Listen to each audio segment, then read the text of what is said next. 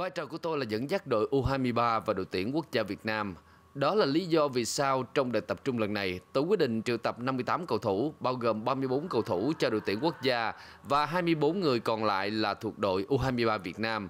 Đội sẽ chia sẻ chung ban huấn luyện, lối chơi, tổ chức đội hình. Cả hai đội sẽ tập trung với nhau tại Trung tâm Đào tạo bóng đá trẻ Việt Nam. Từ nay đến hết 20 tháng 6, tôi sẽ chia quãng thời gian tập trung làm hai đoạn.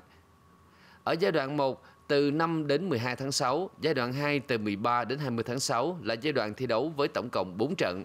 Sau thời gian tập luyện, tôi tách ra làm hai nhóm. Nhóm 1 sẽ là đội đá giao hữu với Hồng Kông Trung Quốc tại Hải Phòng vào ngày 15 tháng 6.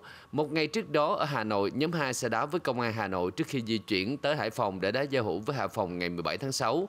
Cuối cùng, căn cứ vào phong độ giữa hai nhóm, tôi sẽ chọn đội hình thi đấu với Syria vào ngày 20 tháng 6 tại Nam Định.